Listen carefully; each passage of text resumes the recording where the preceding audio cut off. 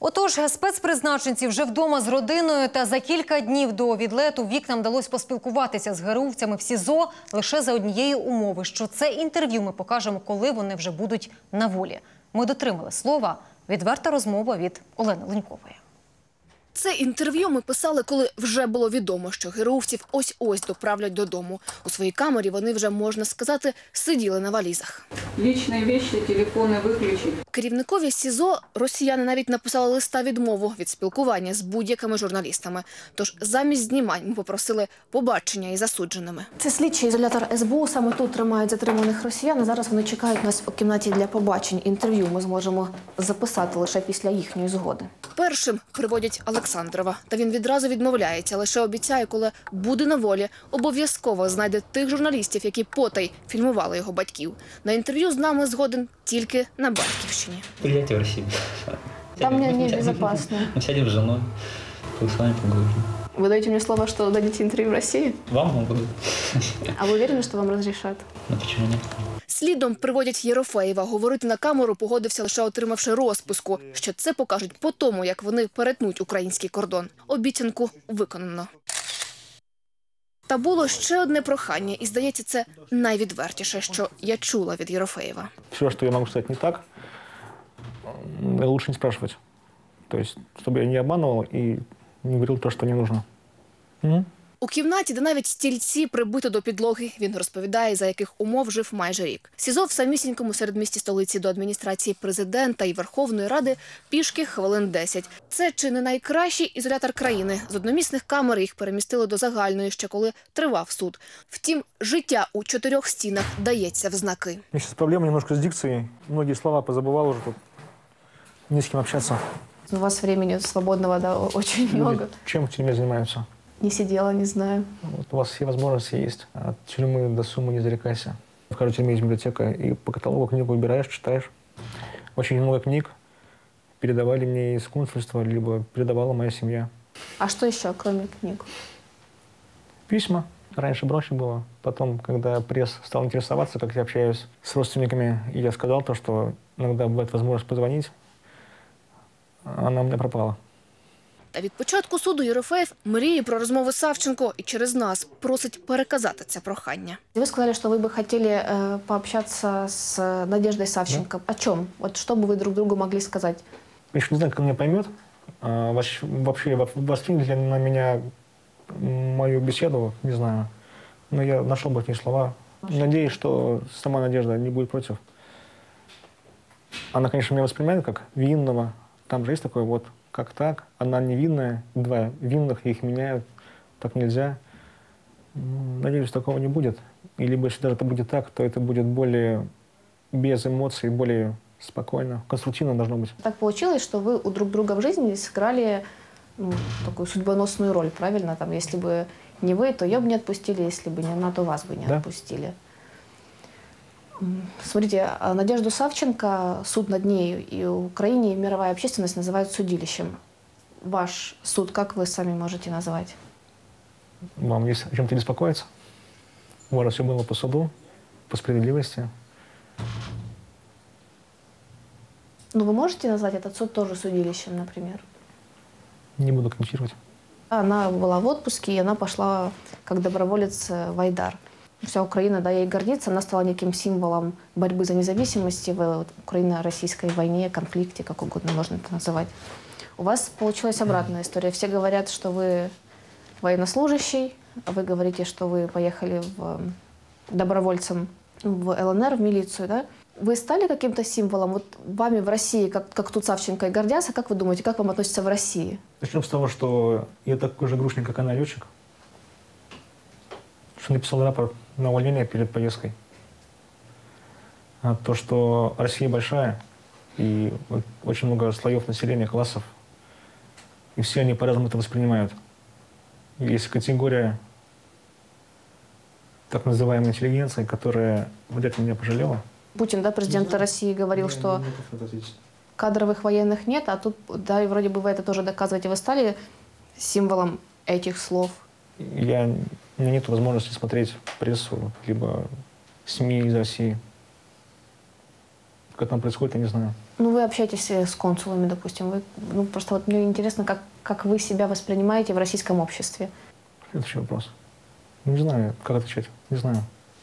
Много неправды. Не знаю, как мне, конечно, поверят, как меня воспримут в Украине. Но на самом деле много неправды, много пропаганды. Говорят, что в России пропаганда, да, она там есть, но она здесь тоже есть. Меня так преподносят в Украине, что я убийца, что я убивал, но я никого не убивал. Убивают в другом месте. А вы ни разу никого не убивали? Нет. А смогли бы убить вообще человека, вот, ну, не, не Следующий сейчас, вопрос. в военном конфликте находясь? Это не убийство, я сказал уже. В суде я этому поводу говорил, что это не убийство. Убивают безоружных, убивают, когда э, знают, что не будет какого-то противодействия, сопротивления, это убийство. А когда идет конфликт, то это не убийство. Вы сказали, что вы приехали воевать за идею. А, а что это за идея? Моя идея, я ее поддерживаюсь. Моя позиция. Но на самом деле это так, это не обманываю. Обсуждать не хочу здесь, не буду. Ну, просто вот Глубоко интимный вопрос. М? Глубоко интимный вопрос, как бы, это личное мое мнение. Лично моя, моя идея, не хочу обсуждать. Я украинка, да, а вы русский, и мне хочется понять... э, Не будем говорить, кто здесь украинец, кто здесь русский. Ну, я гражданка Украины, вы гражданин Российской Федерации. так. Вы себя идентифицируете как русский, я себя как украинка. И мне интересно, какая должна быть идея, чтобы человек из своей родной страны приехал в другую и воевать. Неважно, как кадровый или как ЛНРовец. Вот что это должно быть? Какая идея должна быть? Следующий вопрос. И люди идейные, они обычно свою, своей идеи придерживаются до конца, правильно? Да.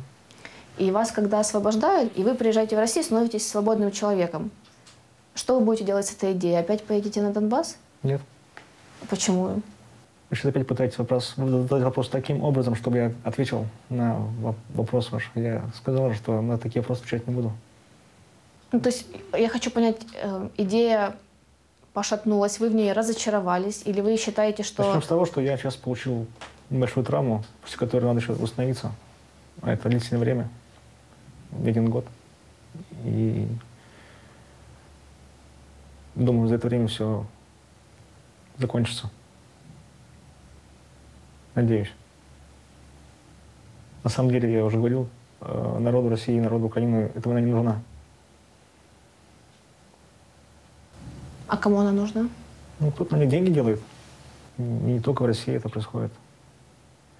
Просто многие политики вооружаются, вооружаются лозунгами патриотическими. А на самом деле они просто на этом деньги делают. Вы знаете на себе, что такое российско-украинский конфликт. Причем обе стороны я видел. Это сломанные судьбы, ну правда, да? Вы потратили год жизни. Вот скажите, вот Крым, который стал российским, война на Донбассе, оно того стоило, чтобы, допустим, даже вы хотя бы год просидели в тюрьме? Вопрос непонятен, отвечать не буду. И не могу не спросить, чей Крым. Украина что-нибудь сделала, чтобы его вернуть? Вопрос встречный. Что-нибудь сделала, чтобы он остался, чтобы он остался украинским? Что-нибудь Украина сделала, чтобы Восток стал более украинским? Могу вспомнить за годы до конфликта этого, как стала делиться Украина на Восток и Запад. Вы, может вспомните тоже, что на Востоке кричали, что там на Западе бандеровцы, хотя такого и не было. На Западе кричали, что там на Востоке все наркоманы, алкаши и плохие люди. Почему-то их разъединяют не только с одной стороны, то обе стороны руку к этому прикладывают. Обе стороны этого сейчас. Обе стороны конфликта. Вы сейчас об Украине и России? Когда дерутся оба, виноваты оба. Ну вы же воевали за одну из сторон. Ну, как воевал? Присутствовал на стороне конфликта. Ну и за идею вы сказали поехали. Тогда какая идея, если обе стороны одинаковые? Оказывается, да. Обе стороны не белые. Тут белого не ищите ничего. Тут белого нету. Черного там тоже обе стороны не черные. Скорее, обе стороны серые, потому что и белое, и черное присутствуют на обоих сторонах. И хорошее, и плохое есть везде. Следующий вопрос. Так что все зря? Нет, ничего не зря. Ну, а этот день все-таки, вот что бы вы, как вы, если вы, вы помните его, да, вот были какие-то вот моменты, думаешь, вот туда бы не пошел, или вот лучше бы там... Да, да, а были. можете, вот что, что бы вы Нет. изменили? Не пошел бы, наверное. Хорошо, а если немножко еще отмотать и вспомнить, как вы едете туда? Следующий вопрос. Я понял, что вопрос, следующий вопрос. То есть вашу правду никто никогда не узнает? Нет правды вообще везде. То есть нету правды в Украине, нету правды в России. Правды нету. Від питань про службу, як мені здалося, Єрофеєву ухилятися легко. Найтяжче відповідати про близьких. Когда вам показали видео ваших родственников, которые говорят, Не что... моих. Ну, и там были и ваши, и э, Александрова. И где они говорят, что это не- они не кадровые военные, и вот именно на, этих, м, на этом моменте да, пошли слезы. Это такие эмоции, которые даже профессиональный актер не сыграет. Почему вы заплакали? У меня был стресс. Я вам по этому поводу уже говорил, уже когда мы готовились к интервью. Я говорил, что не все. Следующий вопрос. Вы настолько сентиментальны, что вы увидели родственников и расплакались? Вам обидно, что что-то исказили, не так сказали? Или просто вы поняли, что эта машина коснулась и ваших самых близких людей, и с ними тоже поработали? Я в первый же почти день взяла трубку жена. С женой пообщался. Говорю, как дела? Говорю, все хорошо. Говорю, уже пришли? Да, уже пришли. Все нормально? Да, все. Все мои, которые были интервью, связанные с, с семьей, я все говорил. Если у них дома все будет хорошо, мне тоже будет все хорошо. И там их защищают, там их оберегают, там им помогают. Там к ним тоже, возможно, ходил психолог. Там все проблемы их решаются. Причем сразу же даже а, все пожелания, которые жена, семья озвучивала, они все были выполнены. Что бы вы сказали людям в Украине, которые там вас ненавидели, как, как, как- как, не знаю, как угодно относятся? Ничего. Ну, а что вы думаете об этой? Все, что я вот могу пожелать, это все будет рафинировано так, сладко, как выразиться сейчас не знаю. Это все будет слова ни о чем. Не, вот все будет ни о чем. Никому это не интересно. Могу только одно пожелать. Теплой зимы. Вам есть за что извиниться перед украинцами? Не поможет. Вопрос не в этом. Есть за что? Скорее всего, нету. Скорее нету, чем есть. Я понимаю, там скажут, убийца приехал там с оружием убивать. Я же никого не убивал. Наприкінці ще одне прохання. Хочу, как бы, если через вас получится, свое уважение выразить офицерам военно-служащим острой бригады, которые нас принимали. Есть офицер достойный. Это радует. Розповісти більше пообіцяв уже дома. Втім, чи вдасться це, хто зна. Сьогодні Єрофеєв хотів цілий день пробути з родиною. Сім'я, Жена, дитина, Родители. потім уже здоров'я, потім все остальное. На першому фото в Росії вони дійсно з дружинами усміхаються. Втім, позад них поліційна автівка, як насправді зустріли військових на батьківщині. Сподіваємось дізнатися найближчим часом. Адже з обома є домовленість про інтерв'ю. Олена Лунькова, Андрій Шурін, Володимир Тихомир. Програма Вікна СТБ.